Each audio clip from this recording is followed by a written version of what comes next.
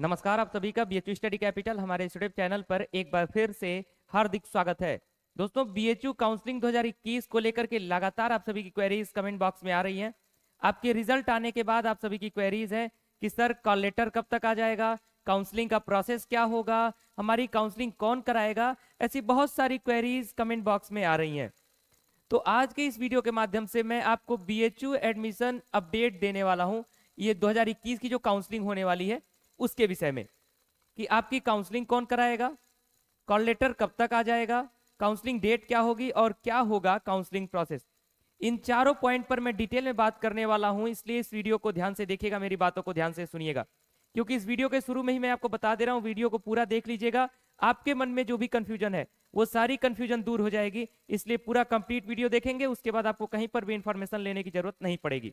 तो चलिए शुरुआत करते हैं इस वीडियो की, लेकिन उससे पहले एक और जान सूचना कि बीएचयू स्टडी कैपिटल हमारे इस चैनल पर यदि आप नए हैं तो बीएचयू स्टडी कैपिटल को सब्सक्राइब करें और बेल आइकन प्रेस करें, क्योंकि बीएचयू स्टडी कैपिटल आपको बीएचयू से रिलेटेड ऑफिशियल अपडेट देता है।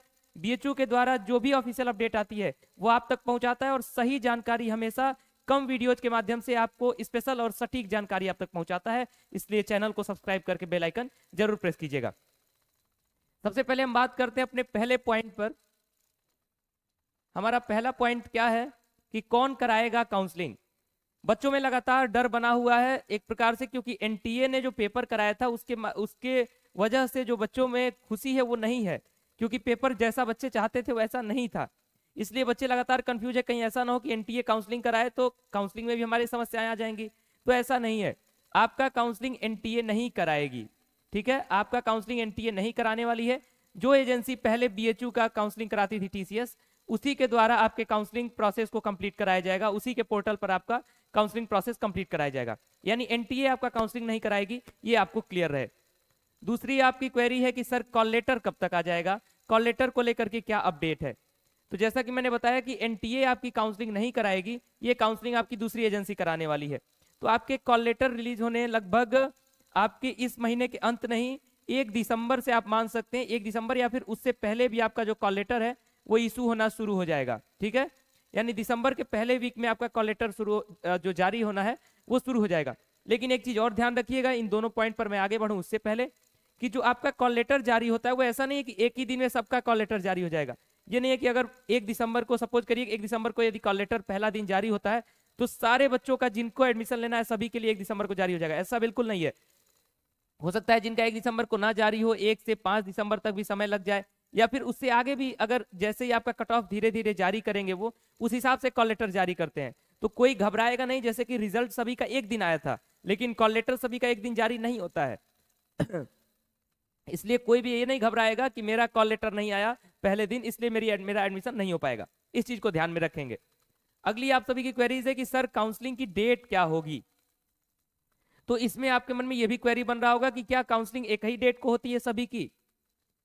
या फिर अलग अलग डेट पर होती है। तो आपकी जो काउंसलिंग है, वो अलग अलग डेट पर आपका कट ऑफ़ बनाया जाएगा कि इतने रैंक से इतने रैंक तक इस डेट को काउंसलिंग होगी, इतने रैंक से इतने रैंक तक इस डेट को काउंसलिंग होगी। आपका जो काउंसलिंग प्रोसेस है, लगभग आपका second week of December second week of December में आपकी काउंसलिंग शुरू हो जाएगी। और अगर डेट की मैं बात करूँ तो वही आप लगभग 11 दिसंबर आप मान सकते हैं कि आपके काउंसलिंग की जो प्रक्रिया है, वो शुरू हो जाएगी। ठीक है सेकेंड वीक ऑफ़ दिसंबर में आपकी काउंसलिंग शुरू होना तय है। शुरुआती रैंक के जो बच्चे हैं, उनकी counselling second week of December में शुरू हो जाएगी और इसी प्रकार अलग अलग डेट पर आपकी काउंसलिंग होने वाली है। उसके बाद आपकी जो महत्वपूर्ण क्वेरी एक आ रही है कि, सर काउंसलिंग का प्रोसेस क्या होगा? काउंसलिंग का प्रोसेस क्या होगा? क्या क्या उसमें चीज़ें क्या क्या हमको डॉक्यूमेंट देना होगा? क्या क्या हमें प्रोसेस फॉलो करना होगा? ऑनलाइन प्रोसेस फॉलो करना होगा कि ऑफलाइन प्रोसेस फॉलो करना होगा? तो मैं आपको बता दूँ कि आपका जो कॉल लेटर है, वो तो ऑनलाइन आता है। लेकिन उसके बाद आपका जब काउंसलिंग होती है तो उसमें आपको ऑनलाइन और ऑफलाइन दोनों ऑप्शंस दिए जाएँगे। यानी कुछ कोर्सेज के लिए आपके सिर्फ़ ऑनलाइन ऑप्शंस मिलेंगे, कुछ कोर्सेज के लिए ऑफलाइन और ऑनलाइन दोनों ऑप्शंस मिलने वाले हैं। ऐसा बीएचयू की तरफ़ से अपडेट है। लेकिन अभी इस पर क्लियर नोटिफिकेशन नहीं आया है कि किसकी काउंसलिंग ऑनलाइन कराई जाएगी, किसकी काउंसलिंग ऑफलाइन कराई जाएगी। लेकिन जो शुरुआती चरण होता है काउंसलिंग का, वो सभी का ऑनलाइन ही रहेगा कि कॉल लेटर आपका ऑनलाइन आएगा। उसके बाद उसमें आपके प्रेफरेंस एंट्री वगैरह, ये सारी चीज़ें ऑनलाइन आपको भरनी होती हैं। उसके बाद जिन कोर्सेज के लिए ऑफलाइन बुलाया जाएगा, उनको ऑफलाइन आना होगा। जिन कोर्सेज के लिए ऑनलाइन कहा जाएगा, उनको ऑनलाइन काउंसलिंग करानी होगी। इसके साथ साथ और भी आपके काउंसलिंग में क्या क्या प्रोसेस अपनाने होंगे?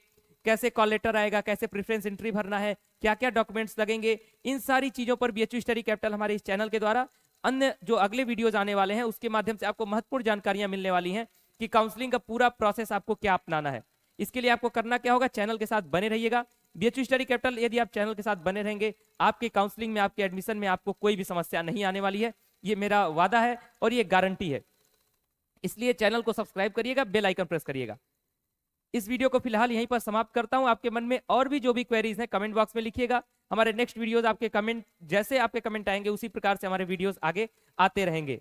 फ़िलहाल इस वीडियो को यहीं पर समाप्त करूँगा। वीडियो को अधिक से अधिक लाइक करें और अपने दोस्तों तक अधिक से अधिक शेयर करें। अपने स्टेटस पर, अपने ग्रुप्स में शेयर कर दीजिए ताकि ये वीडियो सभी तक पहुँच जाए कि आपका काउंसलिंग कौन कराने वाला है कॉल लेटर कब तक आ जाएगा और काउंसलिंग की डेट क्या होगी। मैंने ये सारी चीज़ें आपको डिटेल में बता दी है। हमारे अगले वीडियोज़ आपके काउंसलिंग के प्रोसेस के रूप में डॉक्यूमेंट्स क्या होने वाले हैं काउंसलिंग का प्रोसेस क्या होने वाला है, इस पर आने वाला है। इसलिए चैनल के साथ बने रहिएगा सब्सक्राइब करिएगा बेल आइकन प्रेस करिएगा। बहुत बहुत धन्यवाद।